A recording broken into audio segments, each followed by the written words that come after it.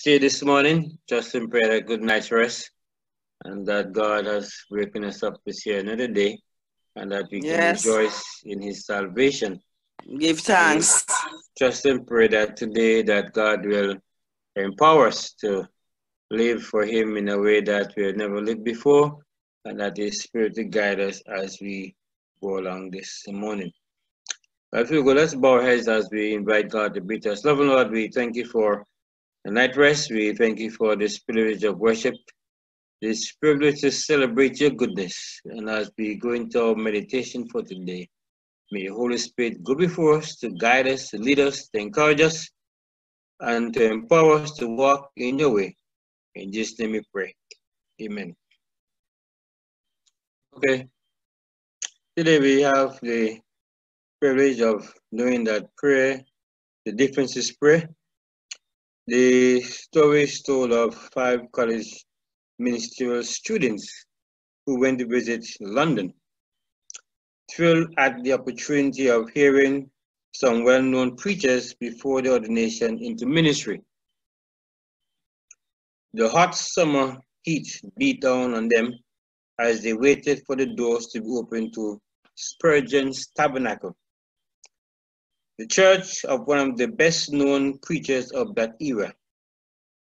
A stranger approached them and said, While you're waiting, would you like to see the heating apparatus of the church? Seeing the heating apparatus on a boiling day in July was the last thing they had in mind, but they consented. They were led down some steps to a basement door. Their guide pushed the door open. There is a heaping apparatus, he whispered in hushed tones. The young men or the young interns saw before them 700 people bow in prayer, asking for God's blessing on the service soon to be held in the tabernacle upstairs. The unknown guide turned out to be Spurgeon himself. Spurgeon's ministry was powerful because of prayer. In our lives and in our church, we have choices. Why use a pencil if you have access to a computer? Why walk if you can fly? Why stumble along without power when the potential is so great?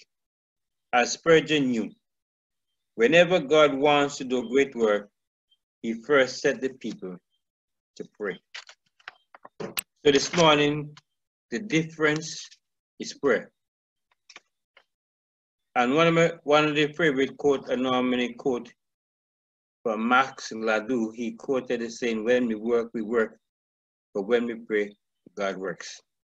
And this morning, I want to show us that God wants to empower us because prayer makes a difference in our lives and in our ministry. See, prayer, the biblical perspective on prayer. You see God's will in your prayer.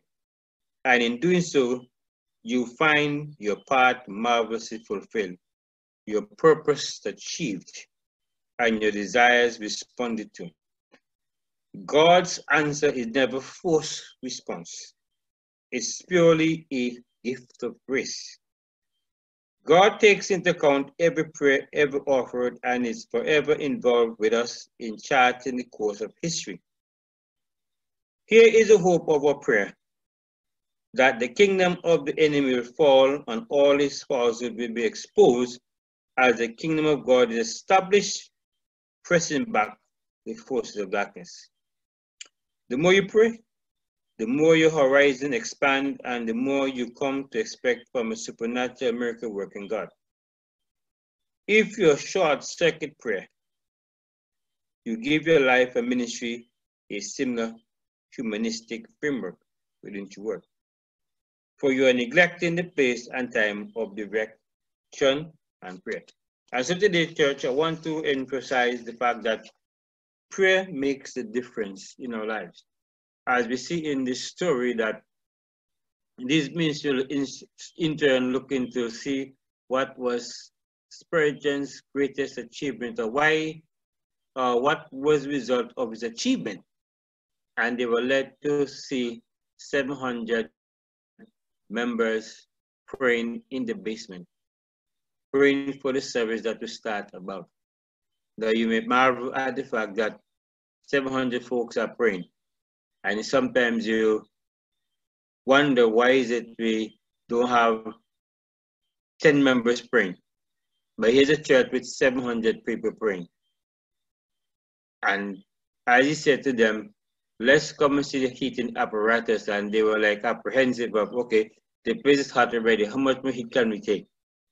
But when it comes to pray, it doesn't matter how hot the.